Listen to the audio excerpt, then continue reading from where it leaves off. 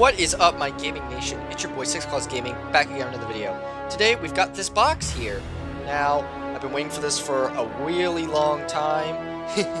so, uh, let's just open it up and see what's inside.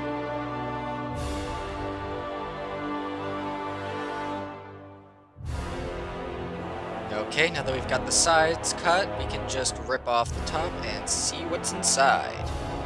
Right. It's a piece of paper that's not important, we'll just toss it to the side. Alright, here's the main thing. It's from Bungie. Bungie Rewards. Alright, let's get this open. It's got two little covers to hold this small box.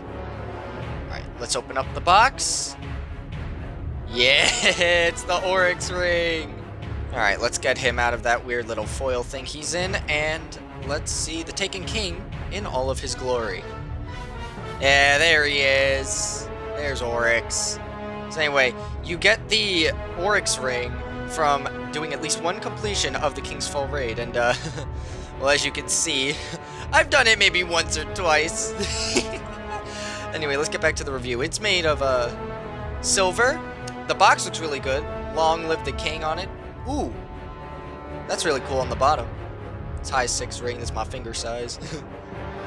anyway, let's get him out. So, it says long live the king on the inside, as you can see. And, well, Oryx's face. It's really detailed, too. And it actually fits on really good. I've got really thin fingers, so the fact that this ring fits on really well is pretty cool. Pretty cool. Yeah, I think he looks alright.